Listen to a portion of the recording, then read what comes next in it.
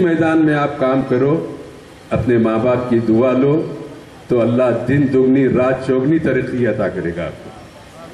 کیونکہ دنیا والے دعا دیتے ہیں، ان کی دعا تو بہرحال دعا ہوتی ہے، لیکن ماں باپ کی دعا میں اللہ نے جو طاقت، جو تاثیر رکھی ہے، وہ کسی فرد و بشر کی دعا میں وہ طاقت، تاثر تاثیر نظر نہیں آتی۔ اور ہم دیکھے ہیں جو اولاد ماں باپ کی دعا سے ترقی کرتی ہے، اللہ اس کی ترقی کو لازوال ترقی بنا دیتا ہے، کبھی ترقی کو زوال نہیں آتا۔ یہ بڑی طاقت ہے۔ ماں باپ کی خوشی میں اللہ کی خوشی ماں باپ کی ناراضگی میں اللہ کی ناراضگی اور دیکھیے، آزمائیے۔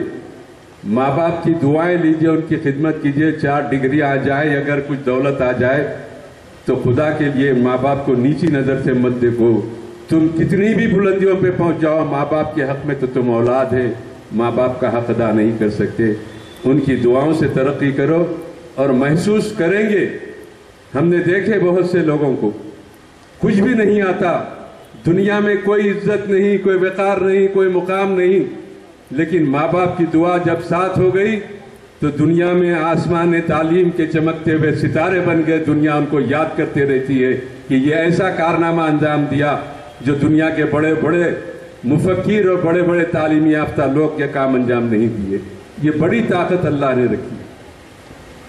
دنیا طبی یونانی کا مرکز، شفا خانے، نظامیہ۔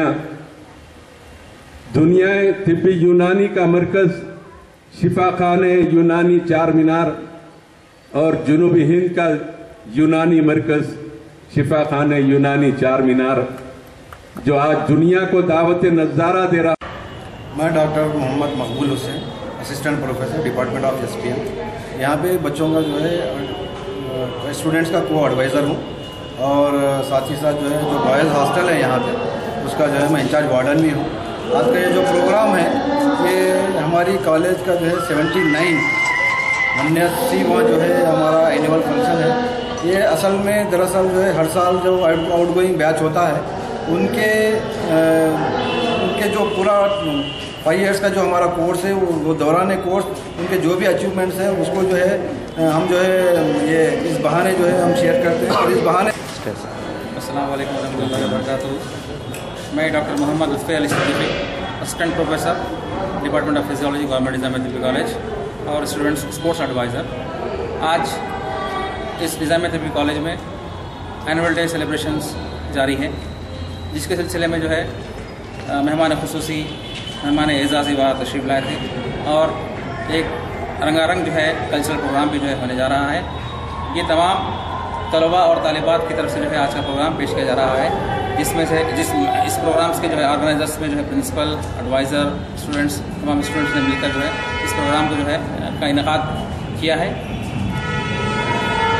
اس آج کے اس خوشی کے موقع پر میں تمام اسٹوڈنٹس کو اسٹاف کو یونانی طب سے جو بھی تعلق رکھنے والے ہیں، ان کو جو ہے سب کو مبارکباد پیش کرتا ہوں۔ خدا حافظ۔